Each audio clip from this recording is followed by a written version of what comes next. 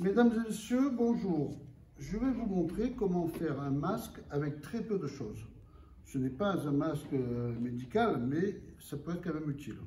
Alors, il vous suffit d'avoir une serviette de table en coton, deux élastiques et un bout de sopalin.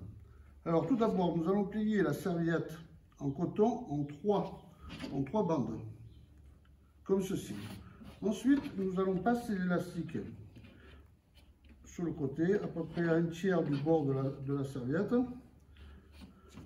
Le deuxième élastique comme ceci, un tiers. Ensuite, nous allons mettre le, sopalin entre les feuilles, entre les, dans la serviette, quoi, entre les bandes de serviette. Et ensuite, nous replions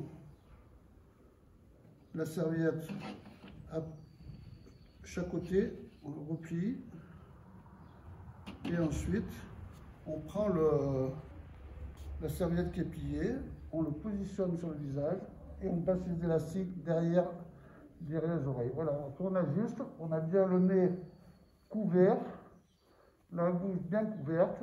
C'est très simple et ça peut toujours être efficace. Nous allons essayer de faire le test de la bougie, voir si notre petit masque est efficace.